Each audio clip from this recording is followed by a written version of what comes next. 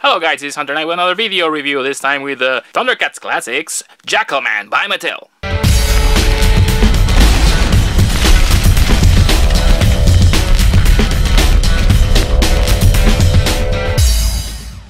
Thanks for tuning in, let's take a look at the packaging for Jackalman.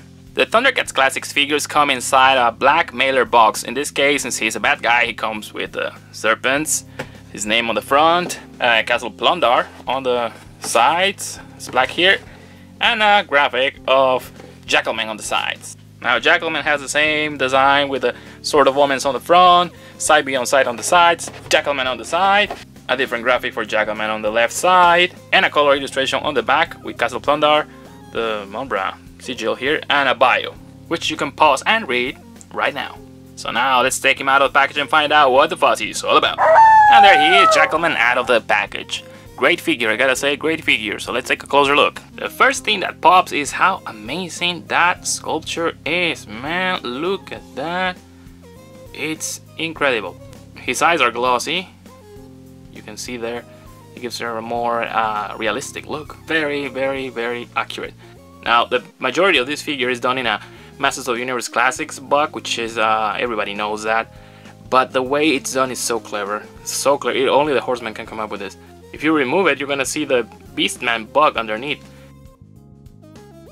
This is, this is clever, man. This is clever design. This is like going to school with the Horsemen. Unlike the Filmation figures, the Thundercat ones are really well detailed. The paint is uh, uh, done in a much more careful way. There's some minor, you know, lacks of paint here and there, but that's not not as bad as Evil-Lyn. Check the shoulder pad is done in a flat gray. The straps have this sort of um, leathery details and wrinkles to make it more realistic. The clasp on the center is well painted. The part on the fur, the fur is flat green. There is no. Uh, usually they, they do. I wish they had some dry brushing to make it more realistic, but hey, not not not too bad. Same with the belt, has some nice realistic leathery details all the way out. It's missing some paint here, but that's it's okay. This part of the arm is a brand new piece. It has hinged hands, you know, and they also rotate. Same with this one. You can see also the details here, the leathery details from this sort of uh, arm guard. Very, very Kraven-like. Now the legs have the same Masters of Universe type of articulation.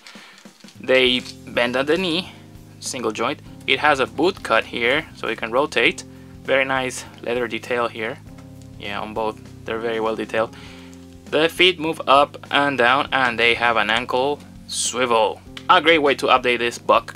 Now I know there has been some controversy about the calves on this uh, particular guy, so I went ahead and disassembled them. As you can see, they're correctly marked, they're correctly assembled. I wanted to make sure that they were not switched, because it has happened before. You can rest assured, they're correctly assembled, they just look weird. For accessories, he comes with this weird club, which is greatly detailed, look at that, he has some dark washes, and there's a nail here, and he has some metallic ring around it. You can see the detail on the wood is phenomenal. It feels as if it's, really wood and this is gonna really open your skull. and unlike the Filmation figures, this guy holds the club pretty well, yeah. He also comes with two extra hands. These hands are exactly the same as the ones that he comes with. They do not contribute to, you know, to enhance the figure at all. You just pull them out, yeah. There you go.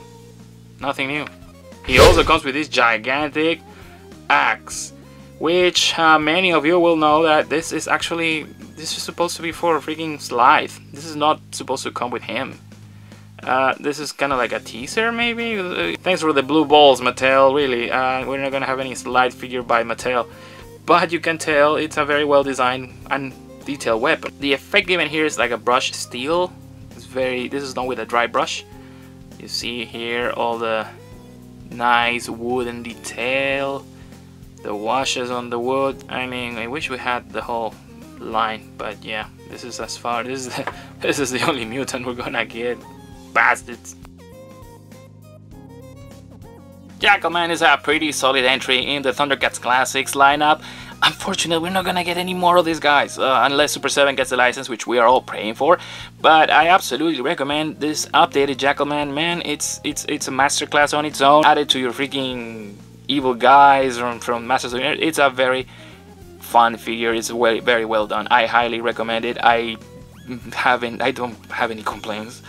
Mm, The only complaint, if you could say, is the, the hands. It comes with two extra hands, which are exactly the same as the ones I have. But if, if that can be called a complaint.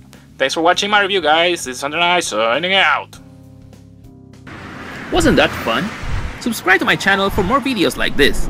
Also, don't forget to visit the Toy and Pop Culture feed for the latest toy news. Thank you!